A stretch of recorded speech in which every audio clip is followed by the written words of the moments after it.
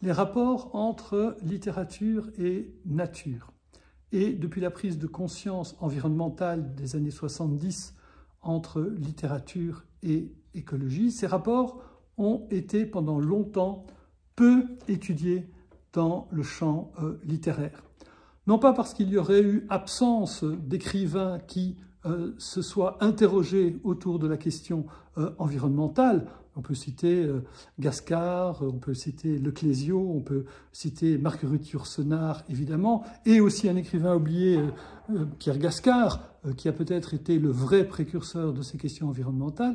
Ces rapports ont été peu étudiés pendant très longtemps parce que la littérature française d'abord, et puis les études sur la littérature française, ont longtemps privilégié le social de manière tout à fait légitime d'ailleurs. Il se trouvait que ce corpus existait, qu'il avait besoin d'être euh, rassemblé pour pouvoir attirer un euh, nouveau public. C'est ce à quoi je m'étais euh, attelé avec un premier livre qui s'appelle Ce qui a, lieu, pour rendre disponible ce, grand corpus et placer ces choses dans, un contexte.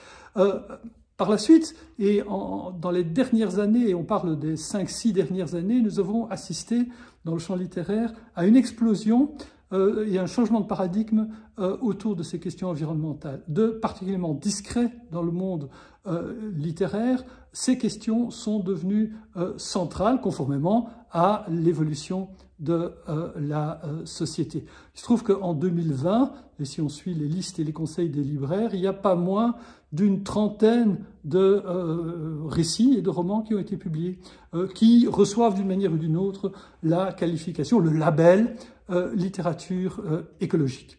Euh, ceci étant dit, nous sommes entrés dans un autre paradigme et il nous manquait des outils pour penser ce, ce, changement. Il m'a semblé que l'éco-poétique, qui cherche à mettre l'accent sur l'écriture de ces textes avant d'avoir une perspective engagée, qui est bien sûr tout à fait légitime et, nécessaire, euh, s'imposait. C'est ce que j'essaie de, développer dans, dans mes travaux.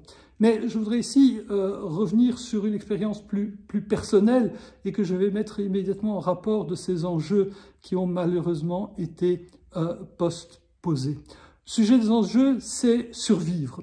Mais ce qui a compté pour moi euh, dans ma propre histoire de sensibilisation par rapport aux questions euh, environnementales, c'est quelque chose de, tout à fait autre. C'est un, un volume euh, qui s'intitule Savoir revivre.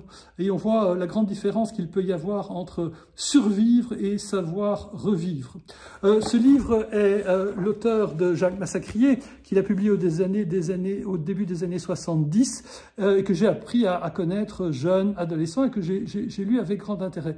Ce, cet homme, est, qui était un cadre particulièrement actif parisien, est parti avec sa famille s'installer en, autarcie euh, dans une ferme euh, euh, près d'Ibiza, et il a vécu là-bas une sorte de retour à la nature dans le, cadre de ce qui pouvait se faire jusqu'au milieu des années 70. Ce, texte m'a profondément marqué euh, parce que, euh, en même temps qu'un certain côté Manuel Ducastor Junior qui, plaît quand on est euh, jeune adolescent, il y avait déjà à ce moment-là, dans ce texte-là, qui est calligraphié à la main, on trouve le, livre en, ligne, il y avait dans, dans ce livre-là une, une véritable sensibilité à l'écologie.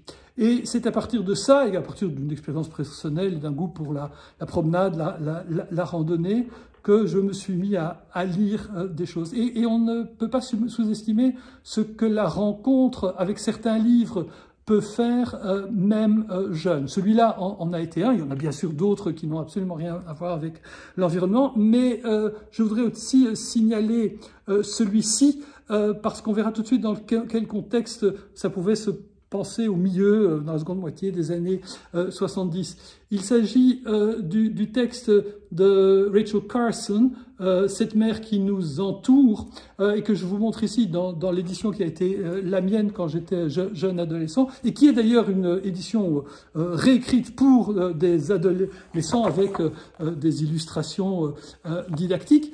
eh bien, il ne faut pas oublier qu'à cette époque-là, c'était autour de la mer que la problématique se, posait.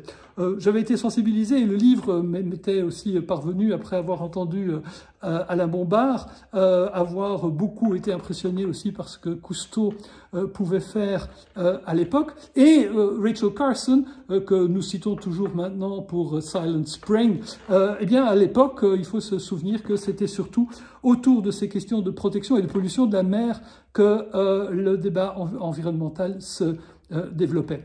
Et, je cite euh, la quatrième de, couverture de, ce livre. Une des premières, Rachel Carson, a dénoncé le danger que faisait courir aux hommes la lente dégradation de la nature submergée sous les déchets industriels. Dans cette édition pour la jeunesse, illustrée par plus de 150 documents, photographies, dessins, cartes en couleur, découvrez une un, un, des plus célèbres et un des plus passionnants livres du monde, découvrez pourquoi la mer est source de euh, toute vie. Euh, ces, différentes lectures, et je n'en prends que, quelques-unes, m'ont accompagné euh, très, très régulièrement, et ce n'est que plus tard que, j'ai lu Le Printemps silencieux, que tout le monde cite maintenant, mais que peu d'universitaires avaient eu en main, sinon peut-être comme enfant ou adolescent à l'époque, permettent de penser notre rapport au monde.